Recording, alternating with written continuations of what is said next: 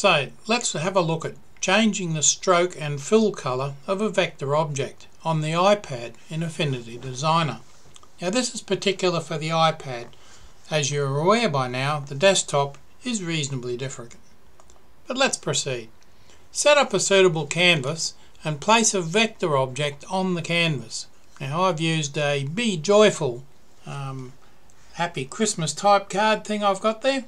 But this can be your own drawing or a simple design to use for this exercise like that. A three page book that I've made. It's just vector lines drawn around there and all converted to curves and pulled out to look like the pages of a book.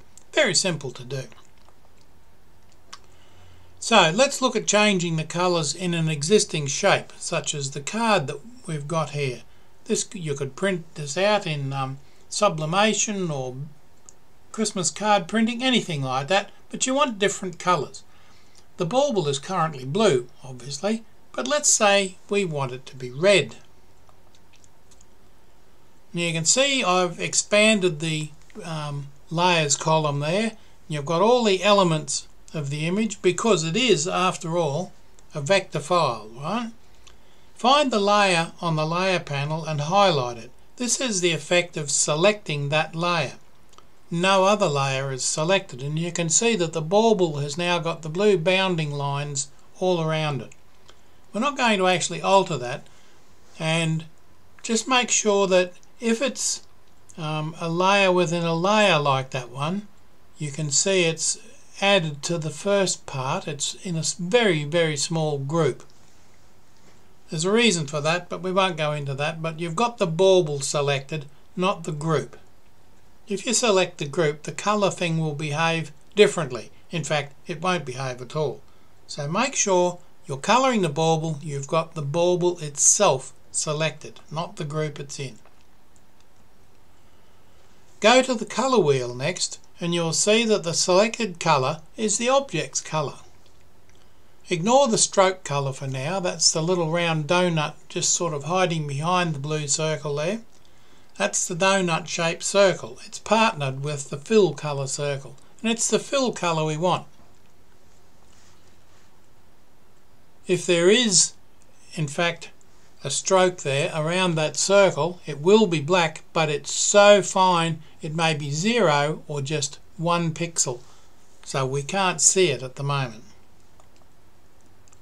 and that's just the way we want it now we can easily change the bauble colour to red so just select red from the colour wheel and the fill for the selected layer turns red. So you just move your cursor across click on the red and bingo there's a red bauble.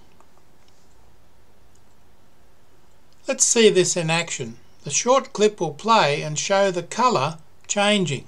There it goes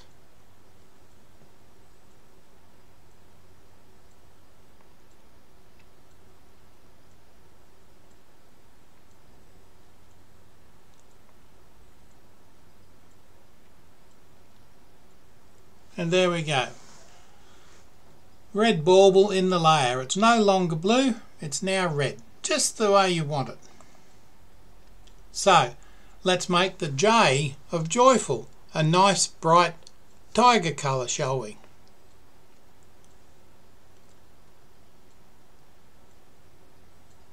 And you can see that it's changing as it goes around.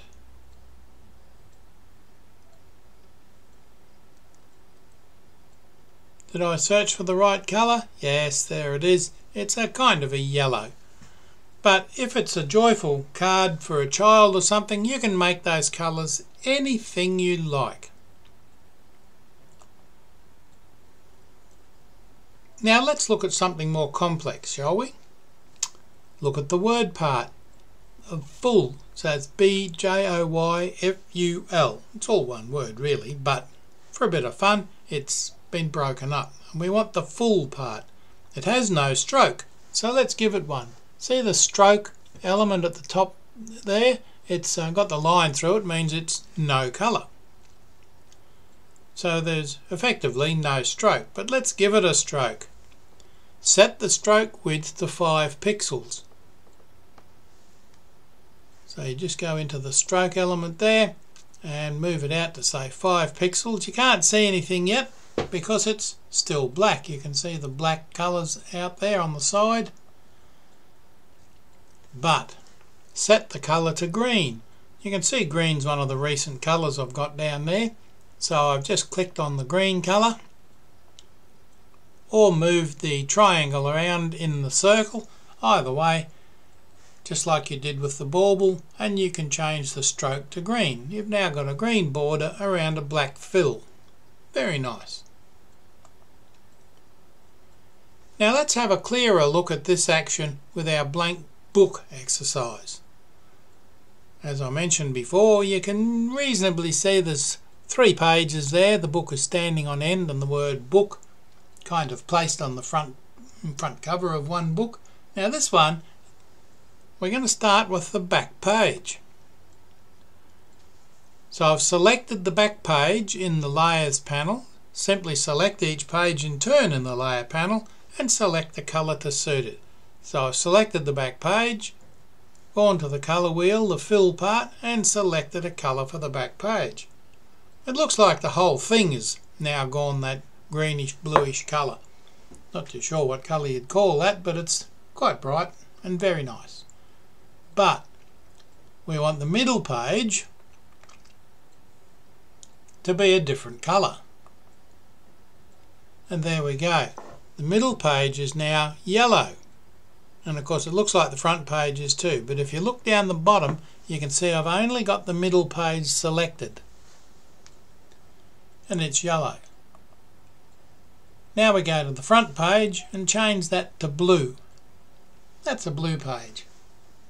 Simple. So now you've got a three coloured page book and it does give it a bit of depth if you wanted to fiddle a bit that a bit as a drawing, you can add shadows, you can add shading.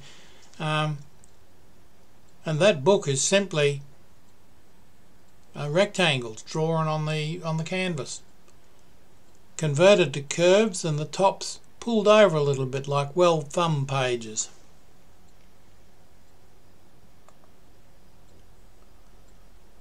there's the layer panel showing all the pages it's the word book, which is not converted to curves.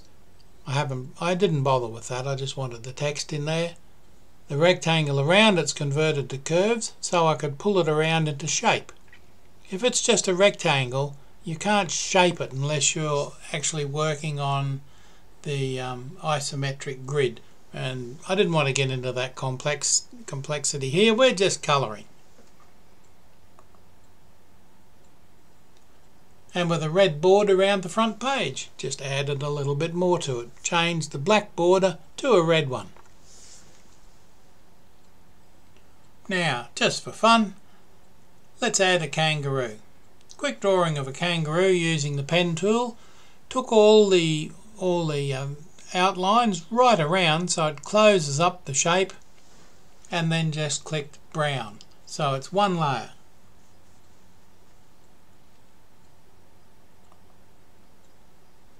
and almost there an object from down at the and you can see the object um, left of the book and below the crop tool is a star there well I selected a star dragged it out set the fill to zero and set the outline or the stroke to red and you've now got a red star